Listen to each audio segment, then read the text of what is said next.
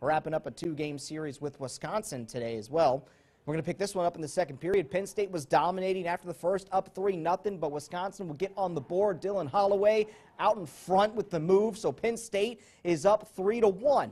About two minutes later, Penn State gets another one on the board. Clayton Phillips just smokes this one in. Things got hairy late, and Wisconsin made you worried, but Penn State holds on to win 5 to 4. That is a series split for you boys. Penn State basketball now